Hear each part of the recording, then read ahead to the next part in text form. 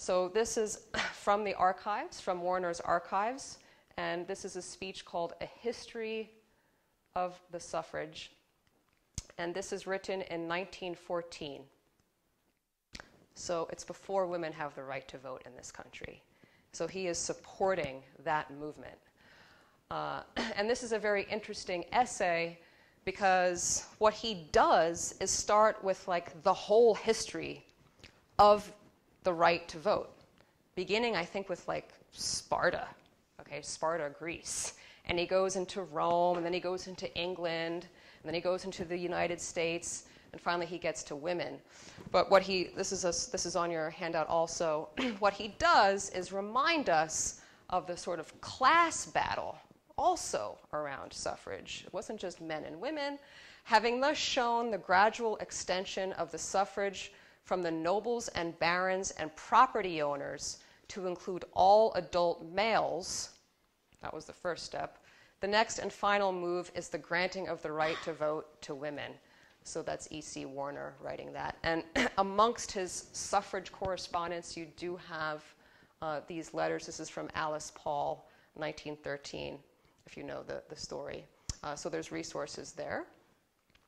Uh, so it's a big story, as I mentioned, and I think this image may help to sort of organize in your head the sort of relationship here. Remember that um, it's really May Wright Sewall and her organizing and putting a framework in place that's helping the suffrage movement as well as the peace movement.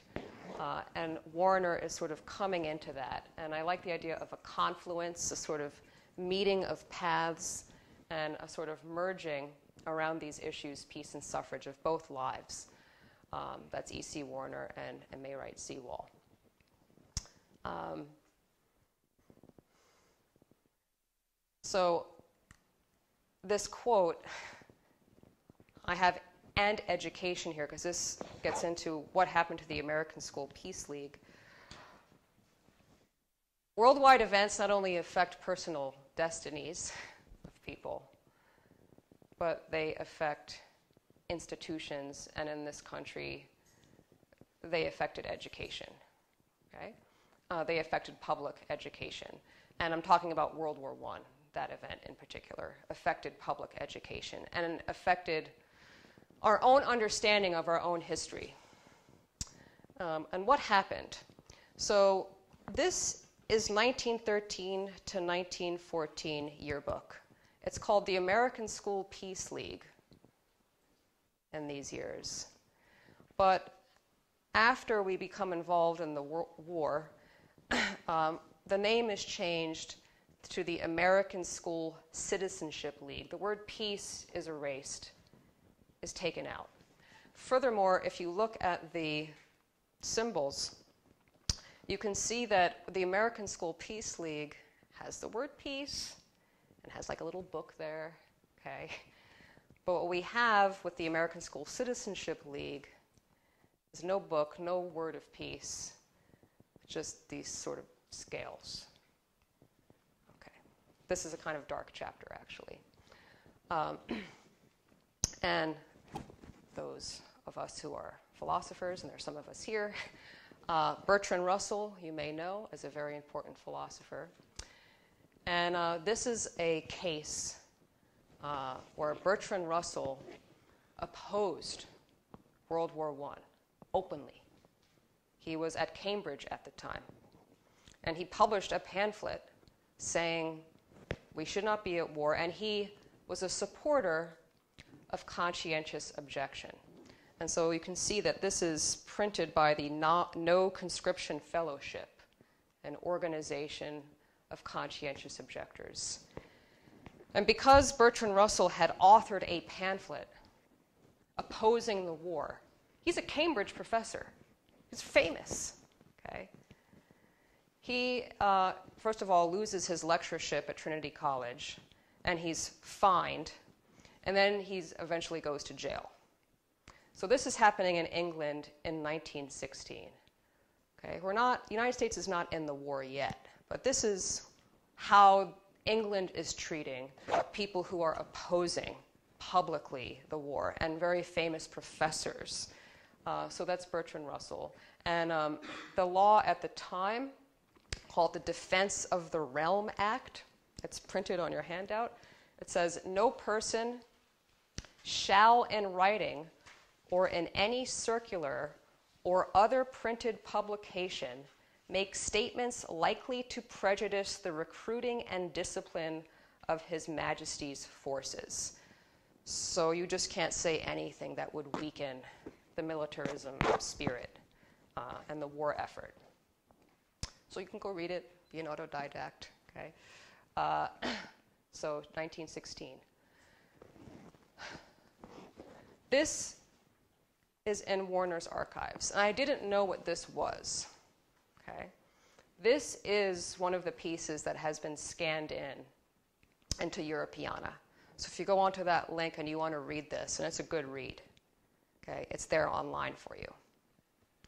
I didn't know what this was. This is um, a superintendent in New York writing to Warriner. Warriner has asked for a letter of Hyman Herman, a pupil in the DeWitt Clinton High School. Uh, so here it is. Here's his letter. This letter was a homework assignment.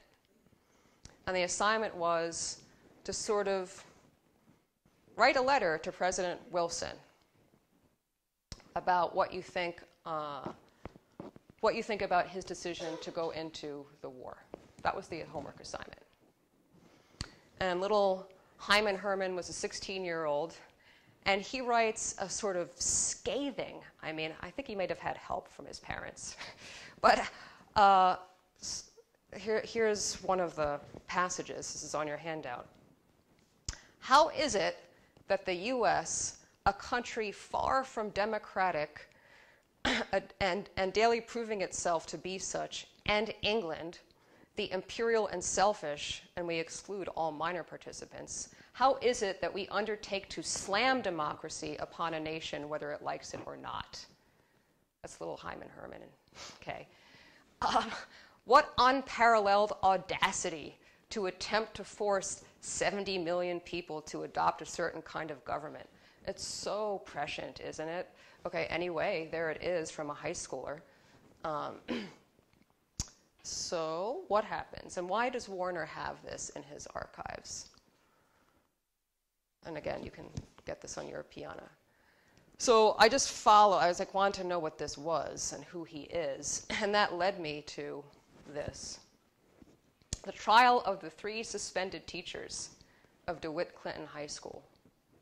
So we're talking Bertrand Russell, but with public school teachers.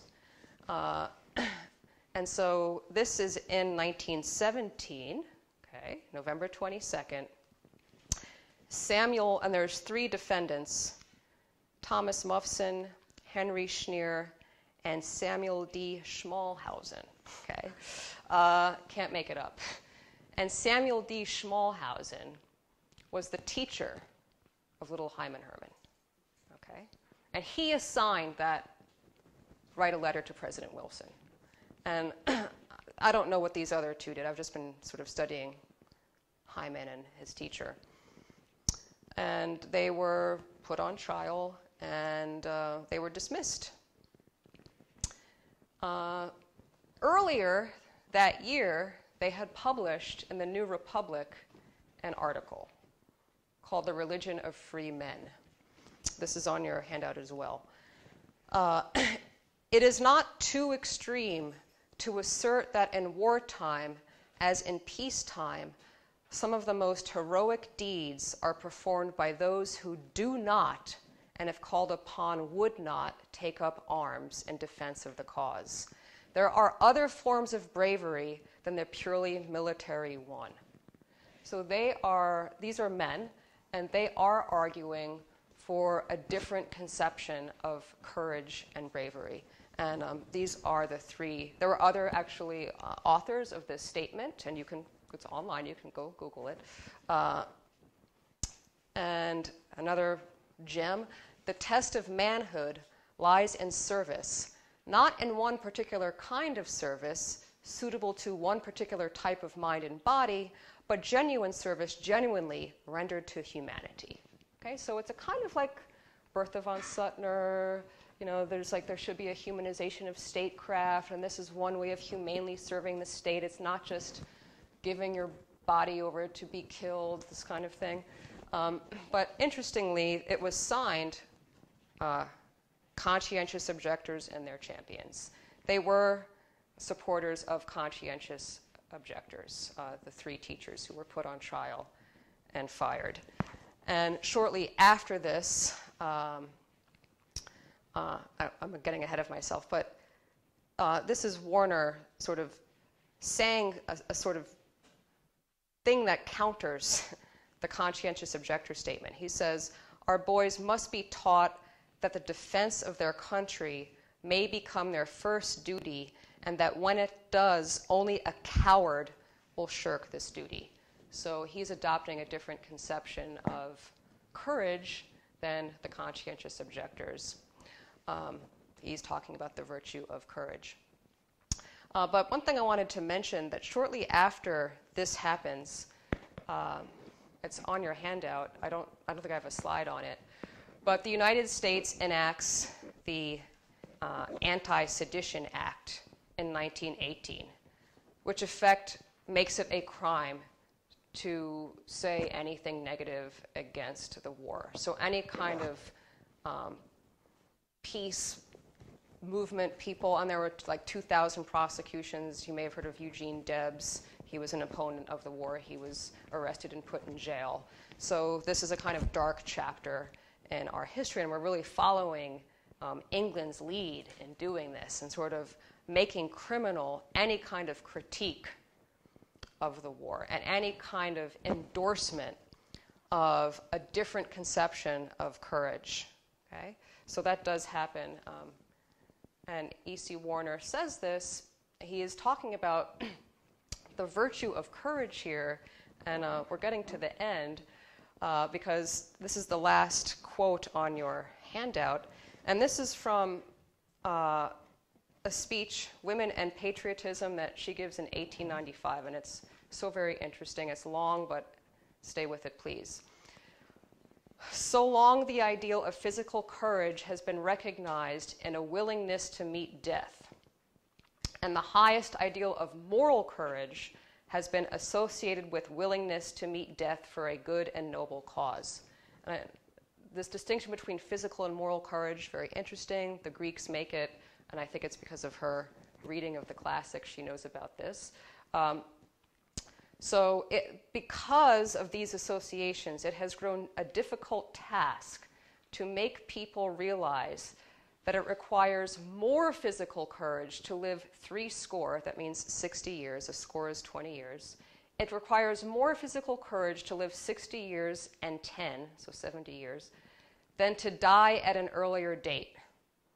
And that it requires more moral courage to come up to four score years by reason of strength, which has been devoted to the illustration as well as to the advocacy of high moral ideals, than to die for any, however noble cause.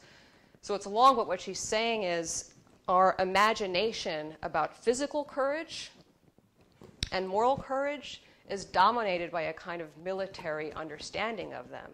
But in fact, she says, it requires more physical courage and more moral courage to live a life of active service for like serving your serving your country in a constructive way like for a cause.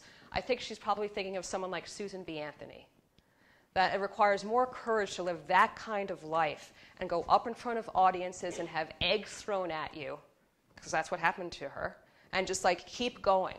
Like that it's like harder to do that than to risk your life you know, for you know, a few weeks and then get killed when you're 18. To live your life like that is what real courage is, she's saying. And that's a totally different conception of courage. Um, and so she is talking about the virtues of physical courage and moral courage. She's making this distinction, which does have its roots in ancient Greek philosophy, actually.